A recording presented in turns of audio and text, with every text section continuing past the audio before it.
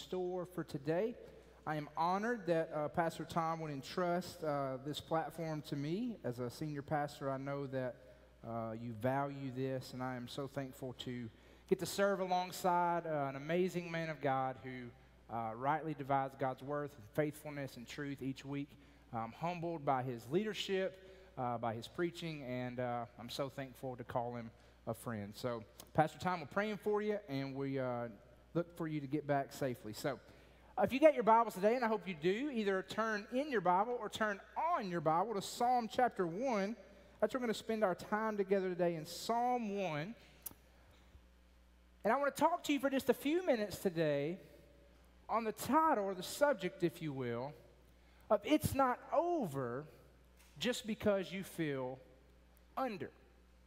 I believe that Christians and unbelievers alike, the spiritually mature and the spiritually undeveloped, all can experience seasons of life where they go through difficulty or challenge, seasons of life where they feel under. You know what these are like. Many of you have experienced seasons where no matter how hard you try or how hard you work or how organized or disciplined you try to be, man, you just can't seem to get ahead.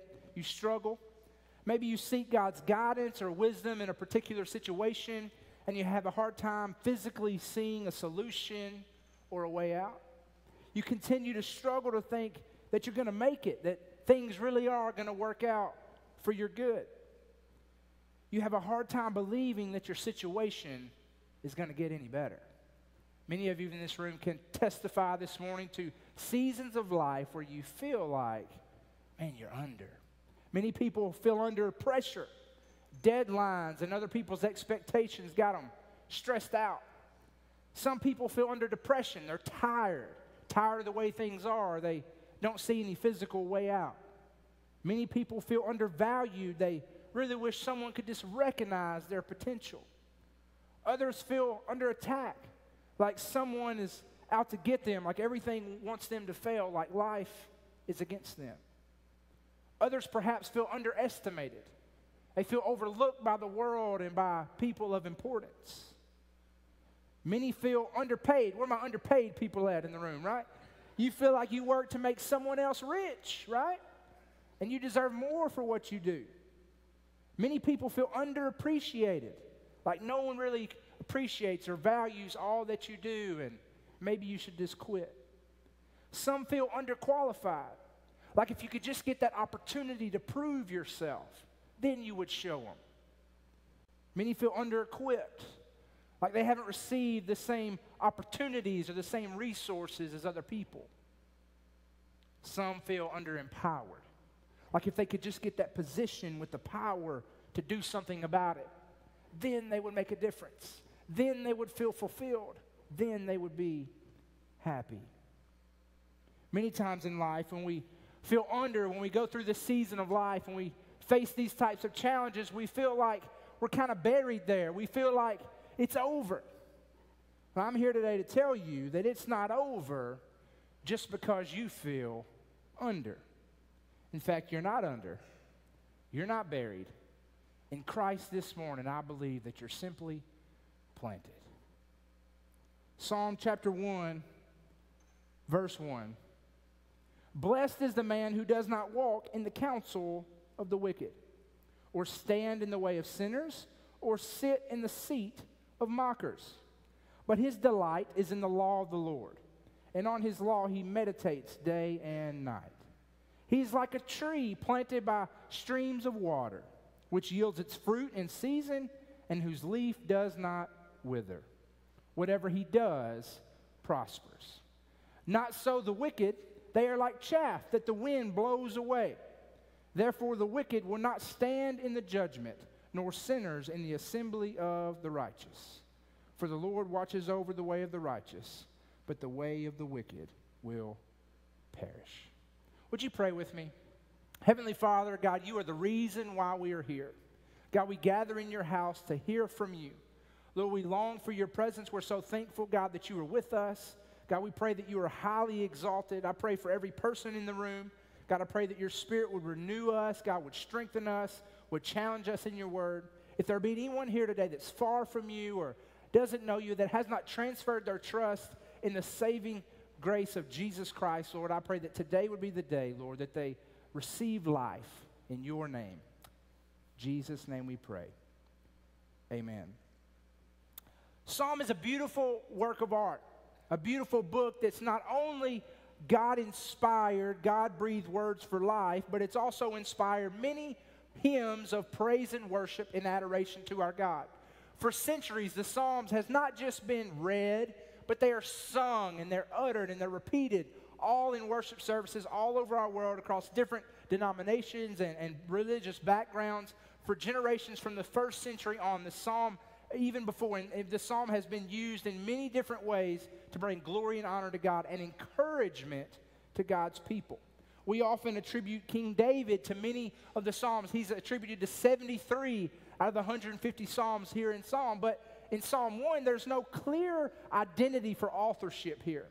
But this great introduction to this magnificent book is filled with as much anticipation as your favorite author's brand new series release you know, even better than that murder mystery or that sinister romantic novel that just takes your mind to foreign places and builds climactic scenes of great theatrical suspense filled with deep excitement and anticipation for how the story's going to unfold. Yeah, Psalm 1 does that here. The introduction of Psalm lays out two competing characters these characters have clearly established positions and are at warring factions with one another. These characters have very different frameworks for their existence and transpire to very different endings. Here we have the wicked and the righteous. Author begins verse 1 by saying, Blessed is the man who does not walk in the counsel of the wicked or stand in the way of sinners, or sit in the seat of mockers. The idea of blessed here is literally translated to mean blessedness or happiness. It's a state of being, it's a state of existence. Not as much the blessing that comes as like a gift from God for life, but it's a state of existence for the believer who's rooted in God's word, who delights in the way of God. You're going to see in verse 2. It's a state of, of life, it's a state of being blessed or being happy. It's not just a physical gift that comes like a blessing from God for life. If you'll notice in verse 1, there's a great progression of sin and depravity for the wicked. Blessed is the man who does not walk in the counsel of the wicked. The idea of walking is that there's movement. There's a place where you're in one position and you're walking toward the counsel of the wicked, toward the advice of wicked people, of people who do not seek God, who do not seek after His word, who do not seek His will or obey His law, walking in the counsel of the wicked. There's movement. But if you look on there at the, in, into verse 1, who does not walk in the counsel of the wicked or stand in the way of sinners. There's no more movement. They're not no longer walking in the counsel of the wicked. They're actually standing. They're taking their stance with sinful men. They're taking their position in the path of sinful people. There's no movement. Now they have standed. They are taking their spot. And if you notice, even worse, who does not walk in the counsel of the wicked or stand in the way of sinners or sit in the seat of mockers. Man, in life, for those who live and breathe oxygen in this life, man, we are born into sin and depravity. We are born into a condition, the Bible says we are dead in our trespasses and sins. And you see this great progression here. Many of you know that sin, you've heard so many times before, man, it takes you so much further than you ever intended to go. It keeps you so much longer than you ever intended to stay. And here we see how sin can transpire over the course of life from walking to standing to sitting. Man, they are they're just set in their ways. You know people like this. Man, they are just seated in the seat of mockers. They're cynical, curmudgeonly old, mean people, right? You know people like this. Some of you no one like that in here, right? Just kidding a little. Verse 2 But his delight is in the law of the Lord and on his law he meditates day and night. I want you to notice here in this verse, in verse 2, uh, the delight of the righteous is in the law of the Lord. His delight leads to meditation. His the right attitude leads to the right action. You see here, delighting in something leads to meditating in it. Delighting in the law of God leads to meditating in His Word. If I delight in my spouse and in my family, then I want to spend time with them. The things that you delight in, wherever your heart is, your treasure will be there also. So, the things in this life that get your delight, the things that get your affection and your attention, those are the things you're going to give your time to. Those are the things you're going to give your talent to, your treasure to. And so, my question for you and for myself as we reflect on God's Word today, man, Where's your delight? Here we see that the one who's the righteous, the one who the Bible's talking about, blessed is the man who delights in the law of God. The right attitude leads to the right action. Delight. Verse 3, and this is my absolute favorite. This is the actual application point, I think, for this message. This is our illustration, comes from the text today. He is like a tree. He is like a tree planted by streams of water. Now, the author here used great simile to compare the life of the righteous to a tree. Now, I love trees. I love them. This time of year, getting close. If we ever have fall, I'm not sure if we will or not, but if we ever have fall, this is where everything cools off and the leaves start to turn and it gets really pretty outside and you get to wear a jacket and not sweat on Sunday morning. It's a great time, right? I love fall. But if you notice here, this tree, right, and all trees, they don't really start out as trees. Unless you like graft them, right? We won't get into all that. But a tree is started out as a seed that's planted under the earth. Trees do not simply produce fruit in their first year of growth. In fact, the oak tree, which is one of my favorite, uh, takes 20 to 30 years before it matures and starts to produce acorns, right? 20 to 30 years. There's a tree called the Chinese bamboo tree. It starts out as a seed about the size of a walnut, and you plant it, and the gardener, man, he must water it and fertilize it every day for five years. And in five years of watering this tree and fertilizing this tree, there's no breakthrough growth on the surface. If any point over the course of five years the, the gardener fails to tend to the tree, then it will die. But in the fifth year, the Chinese bamboo tree grows 90 feet tall in six weeks. Six weeks. What a great testament to our lives and our perseverance of the Christian journey in faith through our God. Before trees can demonstrate any growth above the surface, right, where people can see it, we must first grow deep roots underground that can support the growth of the tree. Think of this, right? Underground, immediately there's darkness. There's no initial growth. The place of being planted and the place of being buried appears the same for a season. The place of death and the place of destiny look the same for a while. The difference is what's inside the object that's under. You take a coin, you take money, you bury it in the ground, nothing happens over time, it diminishes and fades away. You take any inanimate object and you bury it in the ground and it simply depletes and diminishes over time. But a seed with life inside of it sprouts forth roots and begins to grow. The roots begin to grow deep, creating a support system for the tree that will provide both nutrients from the soil required for growth and protection from the storms that will most certainly bring stress and pressure to the tree. These are the difficult seasons of life for us when we feel like we're going under. We don't realize that the deep darkness that leads us to feeling forgotten and worthless will only be used to strengthen and support the great beauty and growth that one day God will use to display for all the world to grow Richmond from. The tree planted by streams of water is always connected to its source of life.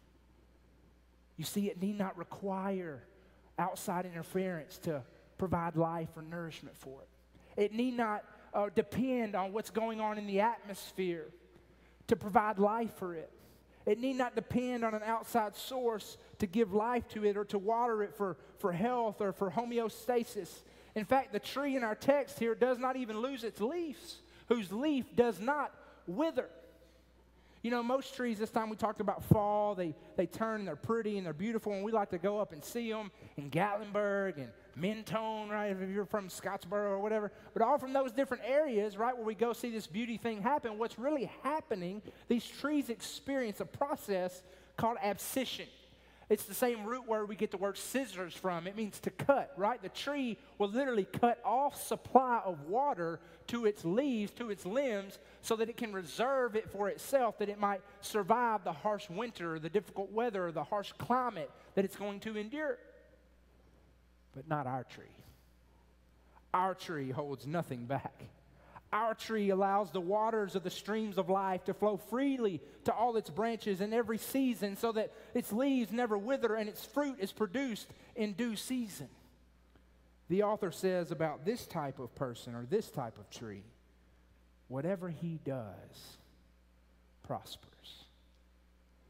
Whatever he does prospers. Jeremiah gives his rendition of this text. He says, Blessed is the man who trusts in the Lord, whose confidence is in him. He will be like a tree planted by the water that sends out its roots by the stream. It does not fear when heat comes, it, its leaves are always green. It has no worries in a year of drought and never fails to bear fruit. Man, in our lives, as Christians, as believers in Christ, man, we are so connected to the source of life that we must understand that although we go through seasons of life where we feel extreme difficulty, when we feel extreme pressure, we feel like, man, we're going under, like we're not going to make it. We just, we're not sure how it's going to work out. We, we trust God and we believe Him, but we have a hard time seeing a solution or a way out. Man, we, I want someone to understand today that it's not over just because you feel under.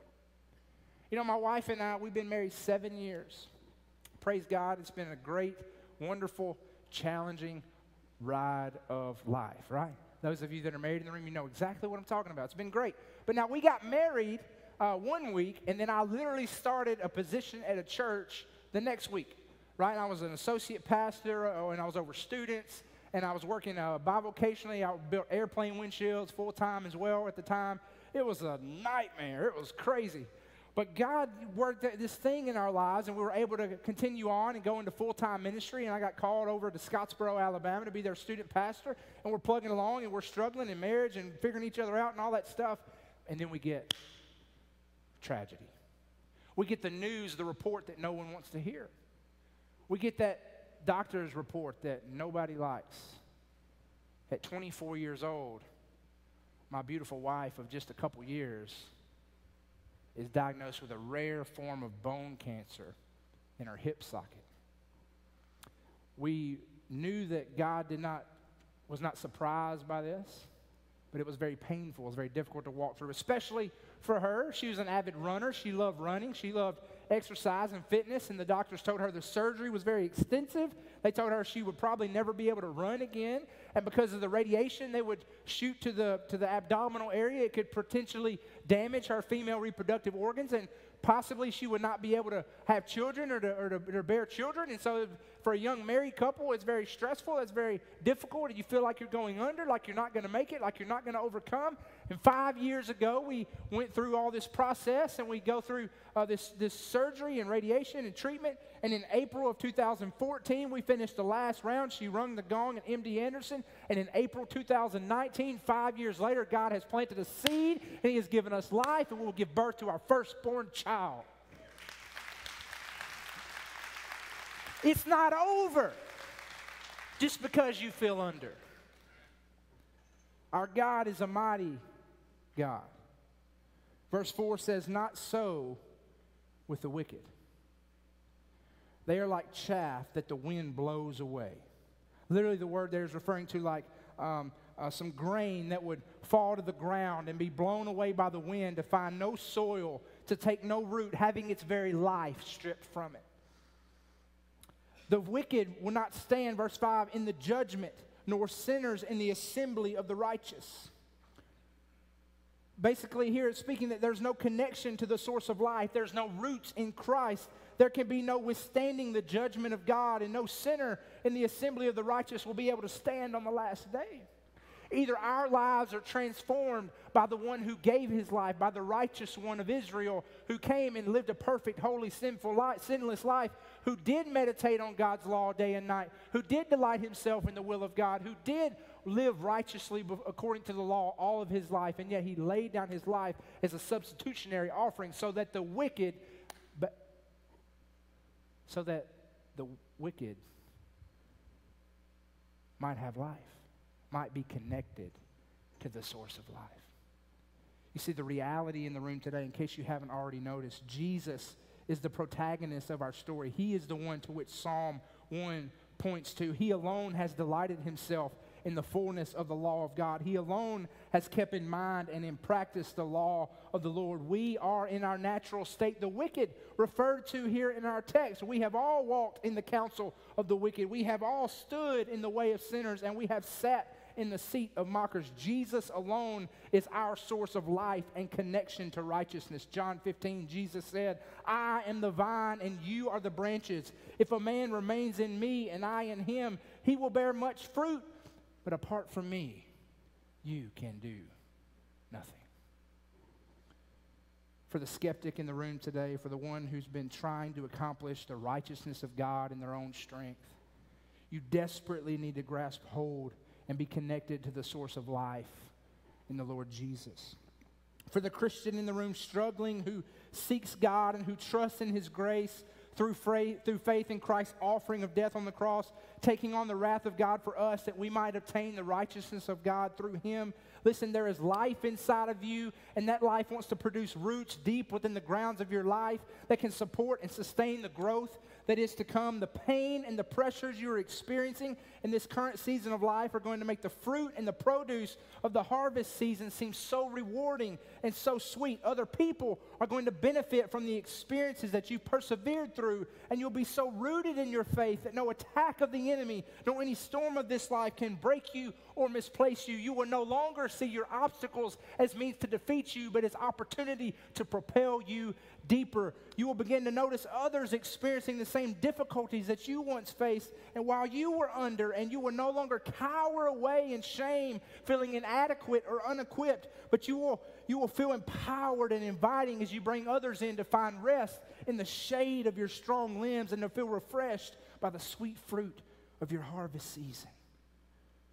Trees not only provide for others, but their fruit produces new growth all around them when the mighty oak tree begins to sprout acorns and they begin to fall to the ground each year, some of them find rich soil and take root and develop into new growth.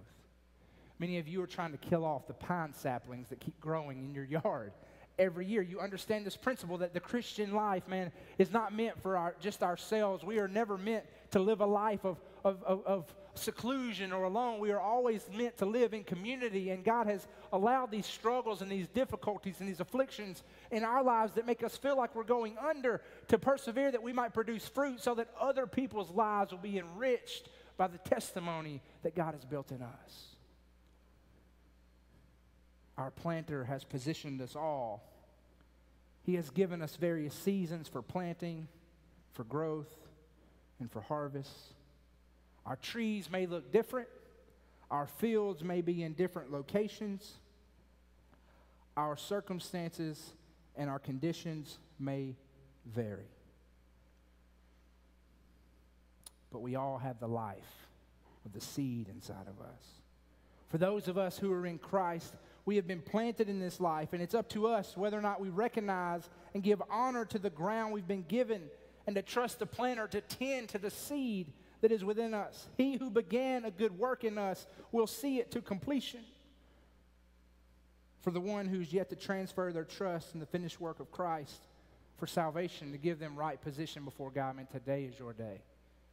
Today is the day where you stop trusting in your own righteousness. You stop trusting in your own ability to do, to do good. You stop trusting in what the world classifies as good, and you, you grab hold of the righteousness that comes only through Jesus Christ the only source of connection to life.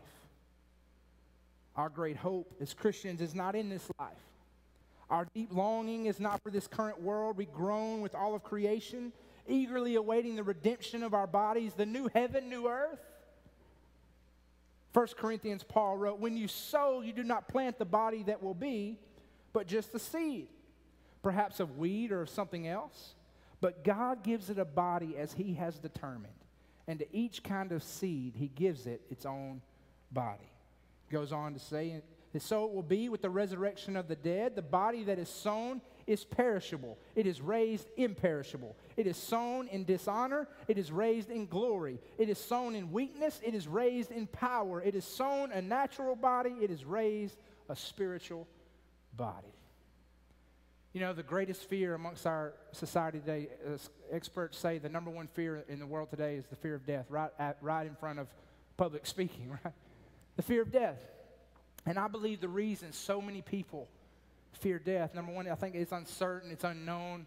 We get a lot of a lot of insight from Scripture, but I think people get a misconception of what death really is and why death has come into the world. We know the Bible says the punishment of sin is death, and we look back to the Garden of Eden when Adam and Eve sinned against God. They dishonored His command to eat from the tree, and God uh, banished them into exile from the garden, and death came upon all men, and we experienced death because of that, and we think it's a punishment for the sin of the original man.